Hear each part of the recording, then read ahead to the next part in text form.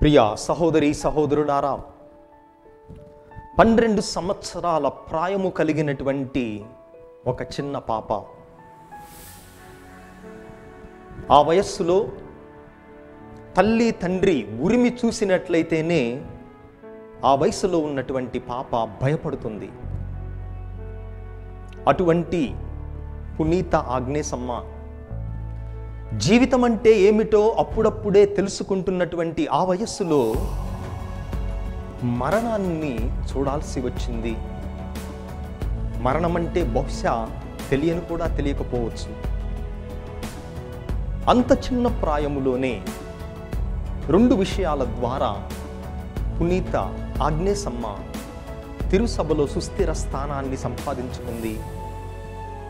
మొట్టమొదటిగా తన యొక్క దేహాన్ని తన యొక్క ప్రాయాన్ని ప్రభువుకి మాత్రమే అంకితం చేసి తన శీలాన్ని కాపాడుకున్నటువంటి కన్యగా రెండవది ప్రభువు కోసం తన యందు ఉన్నటువంటి విశ్వాసం కోసం ప్రాణాలనైనా త్యజించుటకు వెడత వెడనాడిని వెనుకాడని వీరకన్యగా వీర విశ్వాసిగా పునీత ఆగ్నేసమ్మను ఈరోజు మనము స్మరించుకుంటూ ఉన్నాము.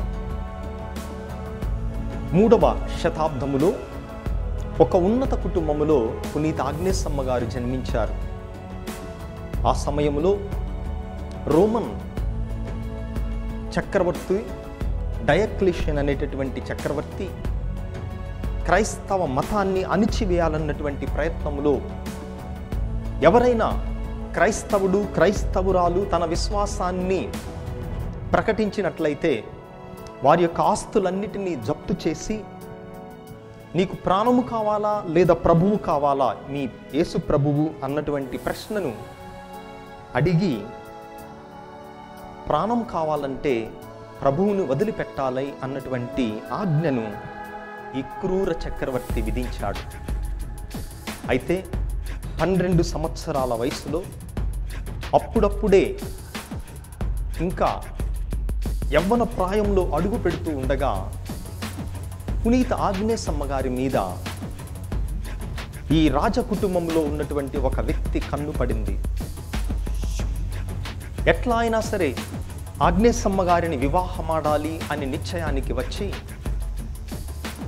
ఆ విషయాన్ని ఆగ్నేశమ్మ గారికి తెలుపగా ఆమె ఒకటే మాట చెప్పింది.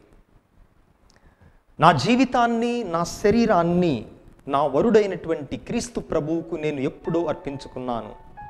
దానికి తోడు క్రైస్తవుడు కానటువంటి ఒక అన్యుణ్ణి నేను ఏ విధముగా వివాహమాడతాను అని చెప్పినప్పుడు ఆ వ్యక్తి ఈమె క్రైస్తవ మతాన్ని అనుసరిస్తుంది అన్నటువంటి అప్పటి వరకు రహస్యముగా ఉన్న సత్యాన్ని చక్రవర్తికి తెలియపరచగా చక్రవర్తి దగ్గర పునీత ఆగ్నేశమ్మ గారు నిర్బంధించబడ్డారు. ఇక్కడ మనం ఒక విషయాన్ని గమనించాలి. క్రీస్తు ప్రభువును వరుడుగా ఆమె చిన్నతనములోనే స్వీకరించింది. తన దేహాన్ని ప్రభువుకు మాత్రమే సంపూర్ణముగా సమర్పించింది. అయితే మతవాసులు ఉదాహరణకు పురుషులు గురుత్వాన్ని పొందినప్పుడు గురుత్వము ద్వారా తమ జీవితాన్ని దేవునికి అంకితం చేసుకున్నప్పుడు తిరుసభ అనేటటువంటి వధువుకు పురుషులు వివాహం ఆడతారు అయితే స్త్రీల విషయంలో ఒక మటకన్య కానీ లేదా దేవుని యొక్క జీవితానికి అంకితం చేసుకునేటటువంటి వారు స్వయముగా క్రీస్తు ప్రభువునే వరుడుగా స్వీకరిస్తారు. పురుషులైతే స్త్రీ సభను వధువుగా కానీ స్త్రీలైతే క్రీస్తు ప్రభువునే వరుడుగా స్వీకరిస్తారు. అందుకే ఆగ్నేసమ్మ ప్రభువును వరుడుగా స్వీకరించింది. అయితే ఈమె మనస్సు మార్చాలని ఎంతగా ప్రయత్నం చేసినప్పటికీ కూడా ఆమె తన యొక్క మాట మీద నిలబడింది. ఎన్ని ప్రలోభాలు పెట్టినా నిర్ద్వందంగా వాటిని త్రోసిపుచ్చింది. ఇక చేసేది లేక ఆగ్నేసమ్మను ఒక వేశ్య గృహానికి అమ్మివేశారు. ఆ వేశ్య గృహములో మొట్టమొదటి వ్యక్తి ఈమె శీలాన్ని చెరచాలి అని ప్రయత్నం చేస్తూ ఉండగా చేయి వేసినటువంటి మొట్టమొదటి వ్యక్తి గుడ్డివాడుగా మారారు అని చరిత్ర చెప్తూ ఉంది. ఆ కారణం వల్ల వేరెవరూ కూడా ఆగ్నేశమ్మ గారిని ముట్టుకోలేకపోయారు. అయితే ఇక చివరిగా ఆగ్నేసమ్మను చంపివేయాలని అనేక రకాలుగా ప్రయత్నించారని ఆమె మరణించినటువంటి తీరు ఏ విధముగా మరణించింది అనేది చారిత్రాత్మకముగా మనకు మరణించిన తీరు ఖచ్చితంగా తెలియపోయినప్పటికీ కూడా ఒక విషయం మాత్రం సుస్పష్టంగా చరిత్రకారులందరూ కూడా చెప్తున్నారు.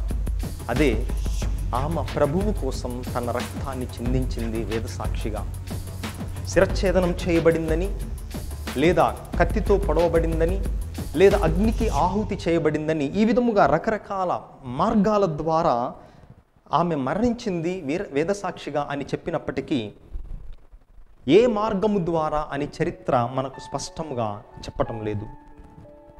పునీత ఆగ్నేసమ్మ గారి గురించి పునీత ఆంబ్రోస్ గారు అదే విధముగా పునీత అగస్టీన్ వారు వీరిద్దరు కూడా అద్భుతమైనటువంటి వాక్యాలు చెప్పారు. పునీత ఆంబ్రోసు గారు అంటారు పునీత ఆగ్నేసమ్మ గారి గురించి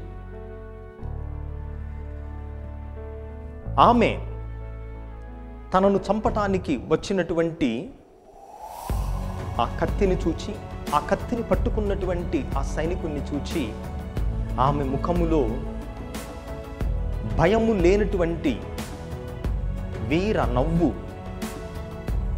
ఆమె ప్రదర్శించింది అని పునీత ఆమ్రోస్ గారు పలకగా పునీత అగుస్తీని వారు ఈ సన్నివేశం గురించి చెప్తూ ఒక ప్రక్క భయపడాల్సినటువంటి ఈ చిన్న బాలిక భయమును కోల్పోయి ధైర్యముతో ఉండగా ఆమెను చంపివేసేటటువంటి వ్యక్తే భయపడ్డాడు. ఎందుకనగా ఆ ఆగ్నేసమ్మ గారి యొక్క ముఖములో ఉన్నటువంటి తేజస్సును ఆయన చూచాడు అని పునీత అగుస్తీని వారు పలుకుతూ ఉన్నారు. ఏదేమైనప్పటికీ పన్నెండు సంవత్సరాల బాలిక. ఎంతోమంది పెద్దవారికి మార్గదర్శకముగా నిలిచింది తన యొక్క జీవితము ద్వారా.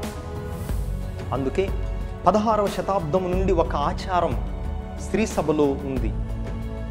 ఏ దేవాలయములోనైతే ఆగ్నేసమ్మ గారి యొక్క మృతదేహం సమాధి చేయబడిందో రోమ్ నగరంలో ఆ దేవాలయములో ఈరోజు ప్రతి సంవత్సరం తన పండుగ రోజు పోపు గారు రెండు గొర్రె పిల్లలను ఆశీర్వదిస్తారు. ఆగ్నెస్ అన్న మాటకు అర్థము గొర్రెపిల్ల స్వచ్ఛమైనటువంటి గొర్రెపిల్ల ఈ ఆశీర్వదింపబడినటువంటి ఈ రెండు గొర్రెలను అక్కడ ఉన్నటువంటి మఠకన్యలు పెదబేస్తవారం రోజు వరకు ఈ రోజు నుంచి పెదబేస్తవారం వరకు వాటిని పెంచి పోషిస్తారు. ఆ తరువాత ఈ గొర్రెల నుంచి ఉన్నిని తీసి ఈ సంవత్సరములో ఎవరైతే అగ్రపీఠాధిపతులుగా నియమించబడ్డారో తిరుసభలో అటువంటి అగ్రమేత్రానులకు ఈ గొర్రెల నుంచి తీయబడినటువంటి ఉన్ని నుంచి తయారు చేయబడినటువంటి దానిని వారికి బహూకరిస్తారు. వారు పొందినటువంటి అభిషేకానికి పరిశుద్ధ పోపు గారితో వారికి ఉన్నటువంటి ఐక్యతకు గుర్తుగా దానిని ఈ గొర్రెల నుంచి తీయబడినటువంటి ఉన్ని నుంచి తయారు చేయబడినటువంటి దానిని ప్రపంచంలో ఈ సంవత్సరం కొత్తగా అగ్రపీఠాధిపతులుగా ఎన్నిక కాబడిన వారందరికీ కూడా పోపు గారు దాన్ని ప్రసాదిస్తారు. ఎందుకు అనగా గొర్రెపిల్ల నిరాడంబరత్వానికి స్వచ్ఛతకు ఏమిలేమితనానికి సాధారణ జీవితానికి నిదర్శనముగా ఉంటుంది గొర్రెపిల్ల. అందుకే పునీత ఆగ్నేసమ్మ దేవుని నుంచి ఈ లోక సంబంధమైనటువంటి విషయాలు కానీ ఆస్తులు కానీ ఆయురారోగ్యములు కానీ అందచందాలు కానీ ఏది అడగలేదు కోరుకోలేదు. కానీ తన జీవితాన్ని ప్రభువుకు దారాదత్తం చేసింది. మరి ఈరోజు సువార్తలో అనేక మంది ప్రజలు గుంపులు గుంపులుగా ఆయన చేసిన గొప్ప కార్యములనన్నిటినీ కూర్చి విని రకరకాల పట్టణాల నుంచి అన్ని పట్టణాల నుంచి ప్రభు దగ్గరకు వస్తున్నారని సువార్తలో విన్నాం. అయితే బహుశా వారు వచ్చింది దేనికోసం? ప్రభువు నుండి ఏదో ఆశించి ఏదో కోరుకొని ఏదో తలంపు తలంచి అది నెరవేరాలని బహుశా వచ్చి ఉంటారు. అని నేను అనుకున్నది నెరవేరితేనే ప్రభువు నాకు ప్రసాదిస్తేనే నేను ఆయన అనుసరిస్తాను అనేది నిజమైన విశ్వాసము కాదని ఈరోజు పునీత ఆగ్నేయసమ్మ గారి పండుగ మనందరికీ కూడా తెలియపరుస్తూ ఉంది. ఆమెలో ఉన్నటువంటి స్వచ్ఛత ఆమెలో ఉన్నటువంటి పిరికితనము లేనటువంటి సాహసోపేతమైనటువంటి విశ్వాసం మనందరం అలవర్చుకున్నట్లుగా ఈ దివ్య బలి పూజలో ప్రార్థన చేద్దాం.